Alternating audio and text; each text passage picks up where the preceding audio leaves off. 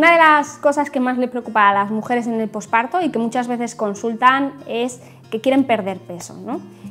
Y yo muchas veces les quito esa idea inicialmente en el posparto inmediato, porque, eh, a ver, cuando eh, la mamá da a luz y está dando lactancia, lo primero es que no puede hacer dietas. Dietas cuando hablamos realmente de dietas, o sea, de privarse de cosas o hacer... No.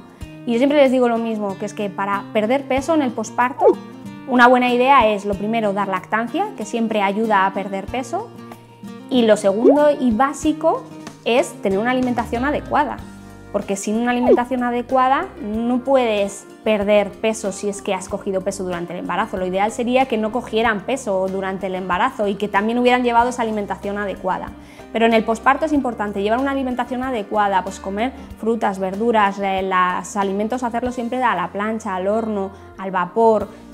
Y luego, si en algún momento tenemos necesidad de dulce, pues nos lo comemos, pero teniendo en cuenta que el resto del día estamos comiendo de forma saludable. No puedo comer eh, comida eh, que no sea saludable y encima estar todo el día que si me como un bollito, un dulce, un tal, ¿no? Entonces una comida saludable y no privarse de un dulce si es que tu cuerpo te lo está pidiendo. Y luego un ejercicio ideal en el posparto inmediato para quemar calorías sería pasear con el bebé.